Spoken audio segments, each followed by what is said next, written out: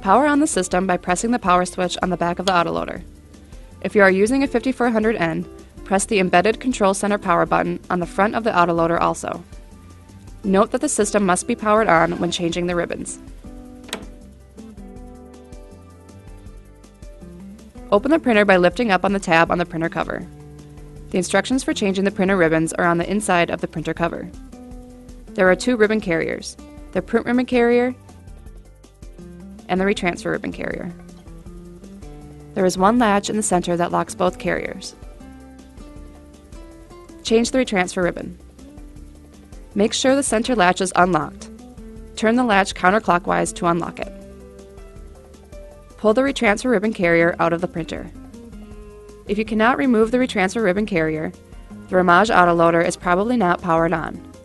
Power on the autoloader to remove the ribbon carrier. Set the carrier down on its back with the rolls at the top. Remove the retransfer ribbon from the carrier.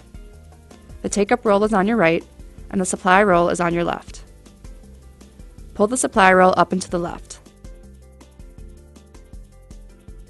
Then pull the take-up roll up and to the right. Set the used ribbon aside. Install the new retransfer ribbon. Remove the ribbon from the silver foil package marked Everest Retransfer Ribbon. Hold the larger supply roll in your left hand and the smaller take-up roll in your right hand. Carefully unwind a few inches of ribbon. There should be about 9 inches of ribbon available between the two rolls. Position the ribbon under the carrier. Make sure the ribbon is centered, straight, and lays flat. Slide the back end of the supply roll on the left into the carrier.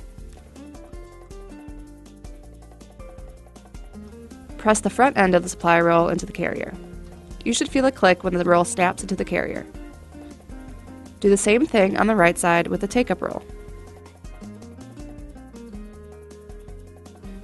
Make sure the ribbon is tight by turning the take-up roll counterclockwise. Slide the retransfer ribbon carrier into the printer.